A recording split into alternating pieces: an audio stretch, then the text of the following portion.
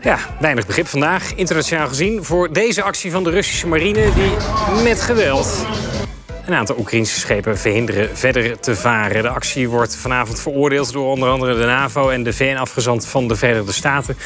Volgens wie de Russen geen enkel recht hadden dit te doen in de wateren rondom het vorig jaar geannexeerde schiereiland de Krim.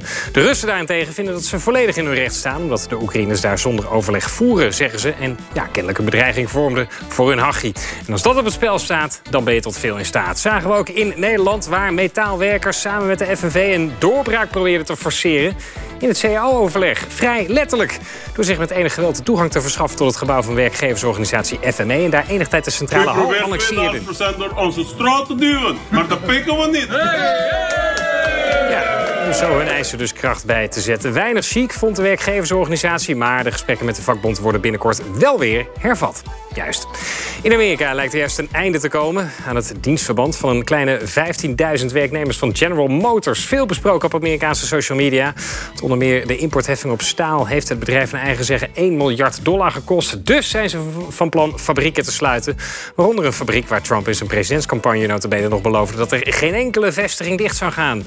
Dus als de voorgenomen sanering inderdaad doorgaat, zou dat wel eens een gevoelig gezichtsverlies kunnen zijn voor de president.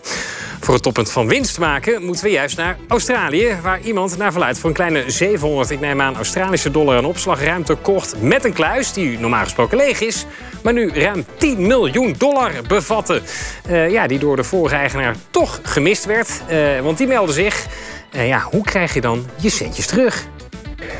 They offered they offered 600,000 and they doubled it to 1.2 million dollars and they gave them 1.2 million dollars in exchange. I guess they gave them back 6.3 million dollars. Juist, lekker 700 dollar investeren om er ruim anderhalf miljoen mee te verdienen. Hoger wordt je rendement bijna niet. Als je zoiets overkomt, dan ben je denk ik wel even sprakeloos. En dat mag. En dat kan de beste overkomen. Zagen we vandaag ook bij wereldster Diego Maradona. Voormalig voetbalgenie. Die zelfs als hij niks zegt nog wereldnieuws wordt. Bij deze brillante analyse. Estando acá, Diego, me imagino que has visto también más el fútbol de la Liga MX de primera división. Lo has observado más de cerca, me imagino, aunque ya algo lo conocías. ¿Qué piensas de la Liga MX, de su nivel? No, eh, la, la, la, Diego en ik zitten helemaal op één lijn ten aanzien van de Mexicaanse competitie. Weten we dat ook weer. Tot zover de opmerkelijkste RTLZ Topics op social media. Tot later.